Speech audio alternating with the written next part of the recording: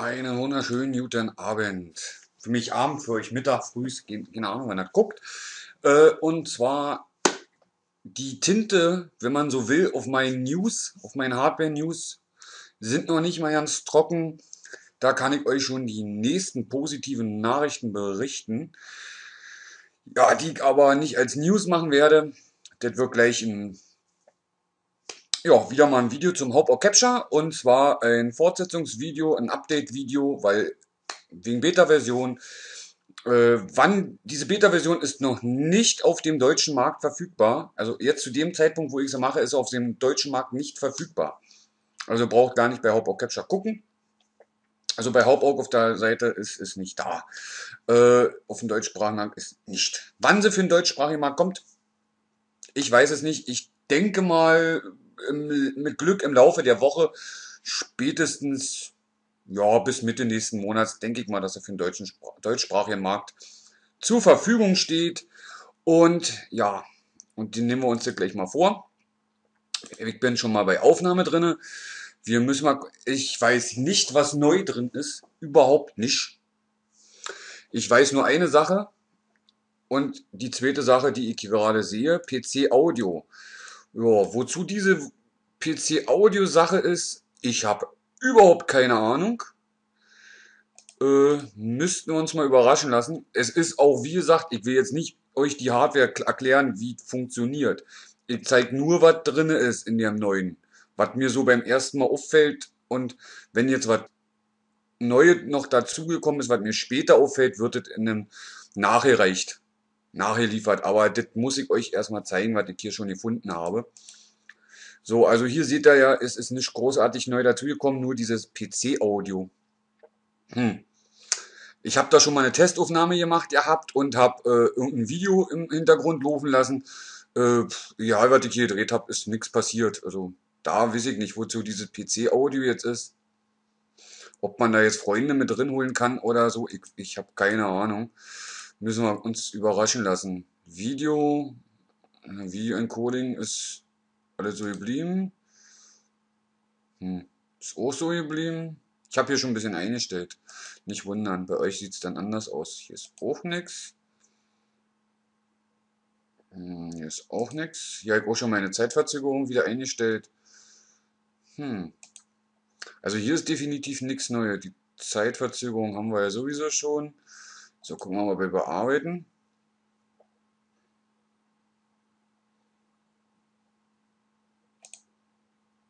Hm. Auch nichts. Hochladen auf YouTube. Kann man deine YouTube-Daten eingeben. Gucken wir erstmal hinten, bevor ich da was nach. Äh, kein Video. Also so großartig, hier sehe ich jetzt auch nichts Neues. So, und jetzt kommen wir.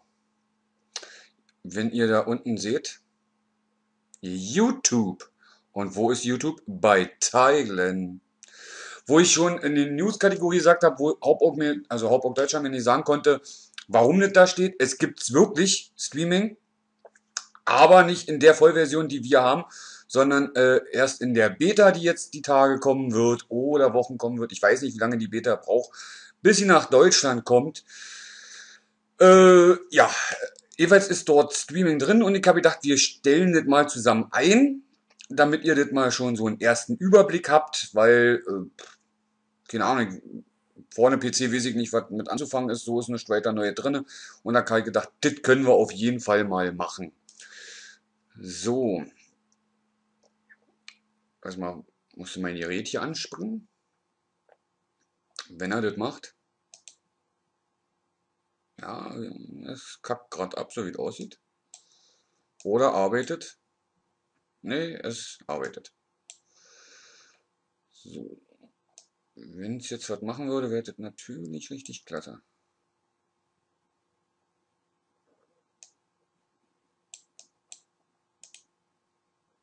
Hm. Okay. Nee, nicht? Doch, was ist mit dir? Programm schließen. Ja. Müssen wir nochmal aufrufen. Es kann mal vorkommen, dass es sich aufhängt. Ich habe ja auch schnell geklickt. Teilen. Und da gehen wir auf YouTube. Nee, nicht Twitch, YouTube. Nicht Twitch, YouTube. Wir gehen auf Login, wir gehen darauf. Und jetzt fragt er nach YouTube-Konten. Ich blende natürlich dann aus. Ihr seht dann nicht meine YouTube-Konten oder beziehungsweise die Konten vom Team. Weil von uns hat hier jeder einen eigenen Kanal und äh, ja, wir arbeiten so ein bisschen uns zusammen und arbeiten uns so ein bisschen zu. Und zwar nehme ich dann auf jeden Fall mein Gamercheck äh, Odin, also Tutorial-Kanal und hier fragt er mich jetzt YouTube-Konto verwenden. Hope Capture Working Stream Ad und wir machen mal akzeptieren. Autorisierung for Hope Capture. You can close your Windows now. Also das heißt, wir sind jetzt wohl autorisiert und wir können das jetzt, wir gucken uns das mal an und sagen jetzt einfach mal starten. Wenn er das Gerät mal starten würde. Oder war das jetzt zu viel für ihn?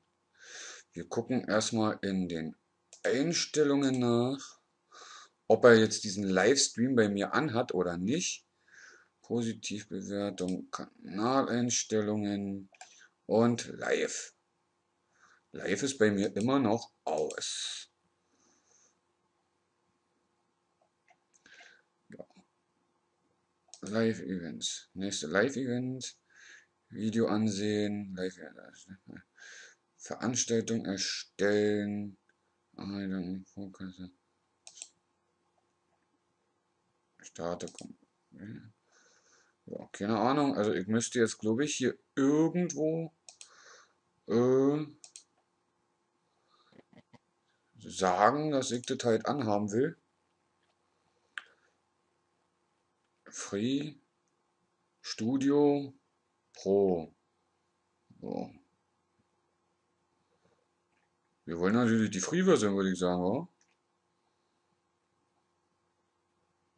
So, nehmen wir mal Free.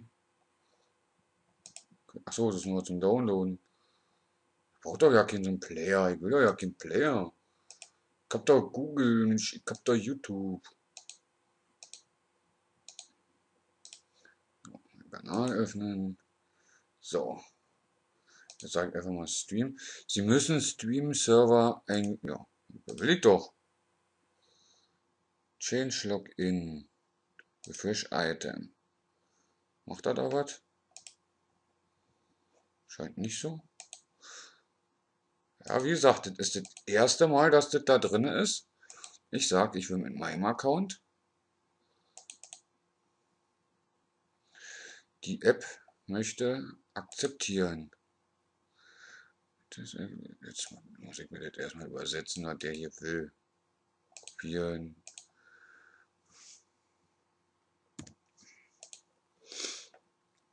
Ja, das ist halt das doof, wenn man kein Englisch kann, aber es gibt Google Übersetzer. Berechtigung für Hop or Capture. Die Anwendung hat ihre Antwort erhalten. Sie können dieses Fenster nun schließen. Ja, habe ich da gedacht, dass das das heißt. Okay. Dann sage ich einfach mal. Sie müssen Stream-Server einstellen, erreichen, bevor was Einstellungen ein richten, bevor Sie Anwendung Stream starten. Okay. Habe ich doch. Oder nicht? Refresh. Ich hab da einen Stream-Server angemacht. Refresh. Verstehe ich nicht. Verstehe ich nicht. Soll jeden, geht nicht.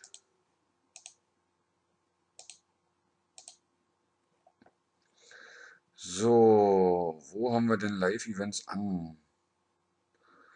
Wo haben wir denn Live-Events an? Das weiß ich doch nicht. Ich glaube, beim Freak auf dem Kanal ist Livestream akzeptieren. Wir können Konto jetzt schließen. Mhm. Müssen wir das mal auf dem Freak sein machen. Mal gucken, ob es da geht.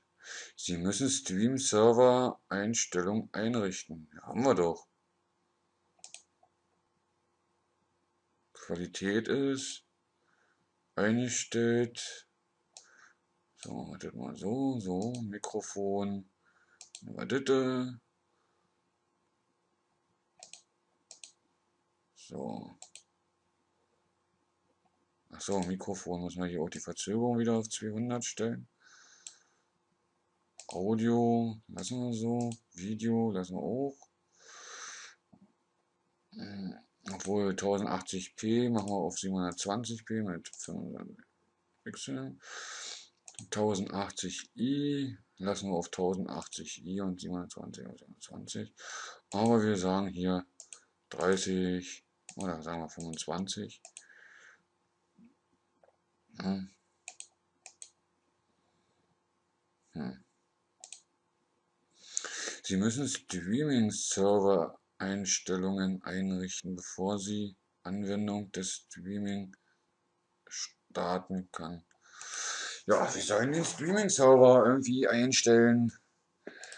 Ja, bei Twitch war damals einfach hier einfach drauf geklickt, Login. Gucken wir mal nach, ob das geht.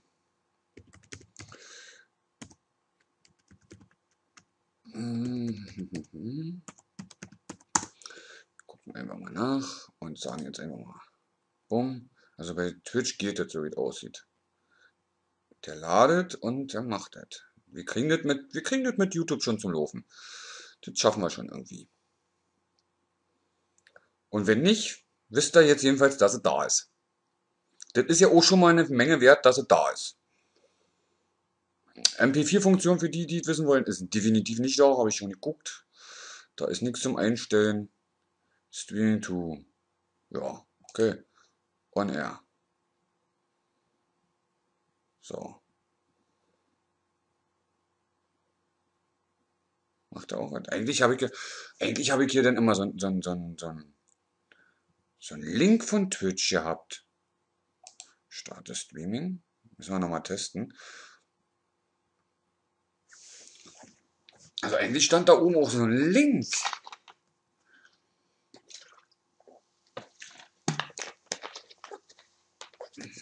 Ich ja jetzt überhaupt nicht. Normal testen. Hat er sich jetzt aufgehangen? Nö, der arbeitet. Der arbeitet. Der arbeitet ganz schön wild. So, machen wir nochmal so. So. Ja. So, wir starten halt einfach nochmal neu. Wer lacht, wenn wir das nicht schaffen.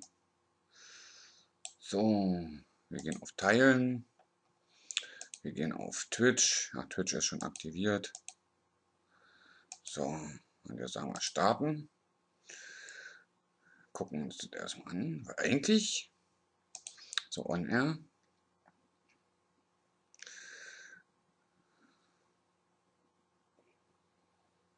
So, müssen wir jetzt warten, bis er was macht. Aber rein theoretisch müsste er denn hier eigentlich auch einen Link anzeigen. Also wo der hingestreamt wird, das, den kann man anklicken oder kopieren und äh, Freunden schicken und sagen, hey, guck mal da, ich spiele. Da ist er. Da ist er. Streaming to Twitch. Genau, das ist mein Twitch-Account. Können wir auch nochmal gucken.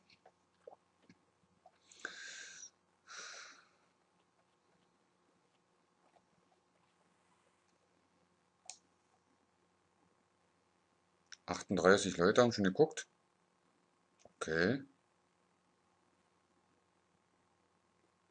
38 Leute haben mich angeguckt. Okay.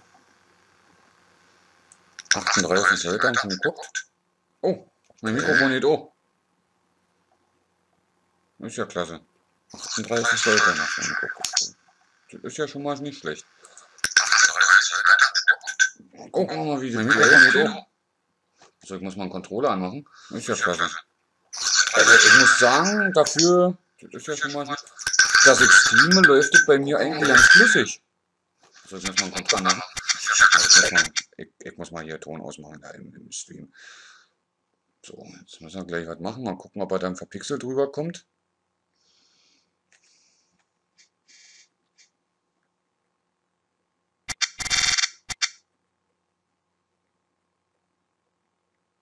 Ja, so ein bisschen hängen tut's.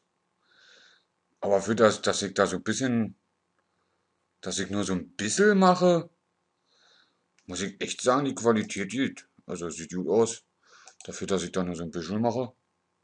Also ich habe ja gerade mal ein MB, wenn ich, was ich rüber streame. Aber läuft jetzt definitiv, das Stream läuft, läuft bei mir definitiv jetzt flüssiger als vorher.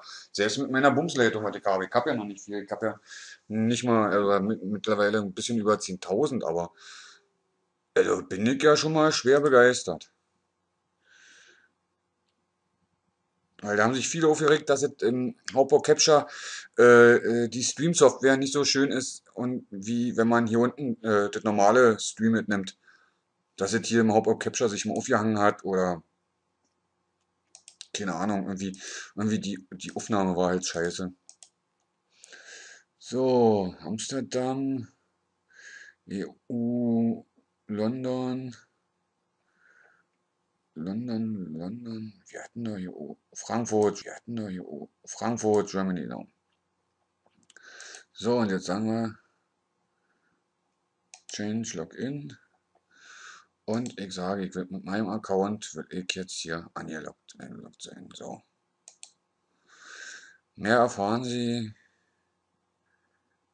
Videos, die Playliste aufrufen und YouTube aktiviert aufrufen verwenden. So.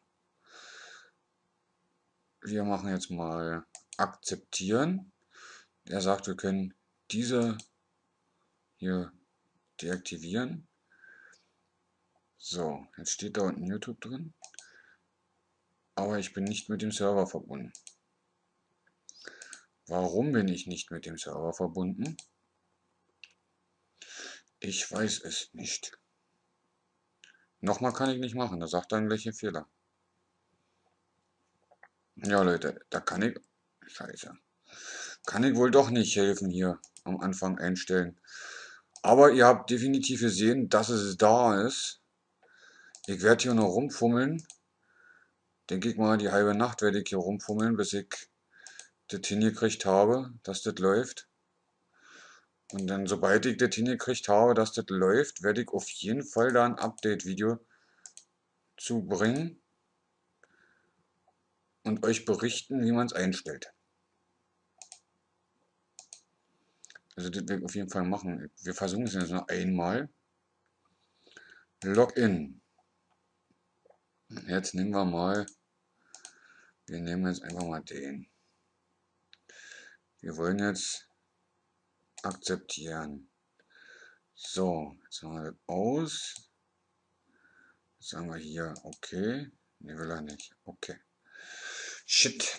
Shit, shit, shit. Also Leute, ich kann euch nicht helfen. Ja, man muss halt irgendwo diesen, diesen Livestream unter Einstellungen, also Videomanager Konto, also Kanaleinstellungen. Und da haben wir hier unten den Livestream. Live-Veranstaltung. Ich denke mal, das wird der sein. Damit, ja, da ist es. Damit kann man, kannst du Livestreaming durchführen. Dies ist bei deinem Konto derzeit leider nicht möglich. Weitere Informationen. Willkommen beim YouTube Livestream. Der Livestream-Partner äh, hier findet äh, äh, was beim Live, willkommen beim YouTube Leitfaden für Livestream-Partner.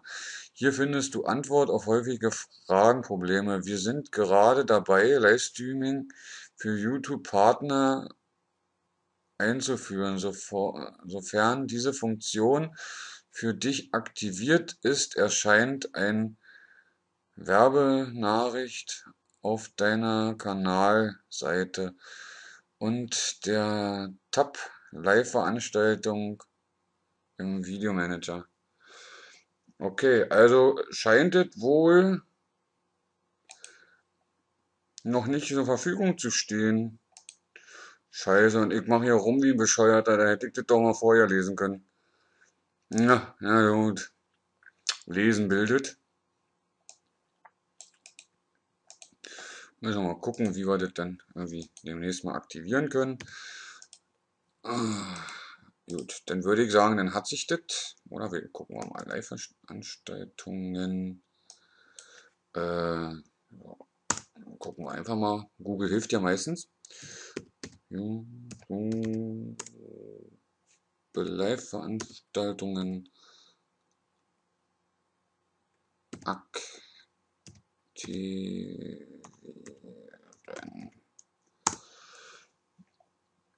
Einführung. YouTube-Partner Live-Veranstaltungen. Ja, da haben wir ein Video. Das bringt uns eigentlich herzlich wenig. Wir brauchen halt hier Support Google. Kein Livestreaming in Deutschland. Aha, okay. Warum nicht? Ja, Livestreaming in Deutschland. Alles klar. Gut, also scheint mal wieder wegen unseren deutschen beschissenen Rechten, dass wir keinen Livestream benutzen können.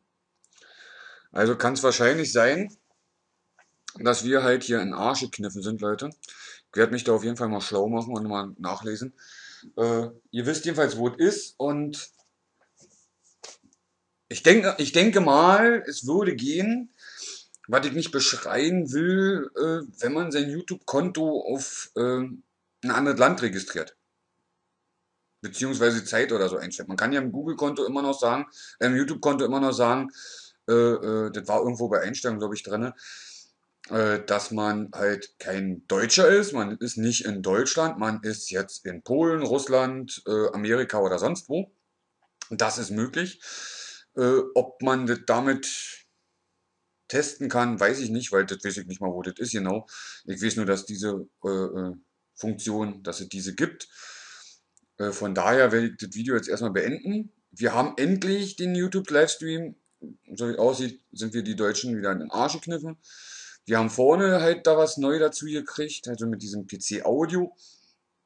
Da müssen wir mal gucken, für was das steht. Äh, ich habe noch keine Ahnung, ich muss mit dem Onkel quatschen, der hat einen feststehenden PC und das alles angeschlossen. Da muss der mal ein bisschen rumtesten, dass er mir mal sagen kann, ob das vielleicht was mit seinen PC-Boxen zu tun hat, weil bei mir ist hier nichts passiert. Ich hatte aber rüber. Ach Gott. Ich hatte, glaube ich, Headset auch an. Ich muss dann morgen ein bisschen rumfummeln. Also sobald ich da neue Informationen habe, was das macht und was das nicht macht oder wie man YouTube-Livestreaming aktivieren kann, sage ich euch Bescheid. Bis dahin wünscht der Odin euch eine gute Nacht. Bleibt mir gewogen. Ich hoffe, euch gefallen die Videos weiterhin und wenn ihr Kritiken oder Anregungen habt, einfach raus damit. Äh, ich bin dankbar dafür. Ich verabschiede mich. Ciao.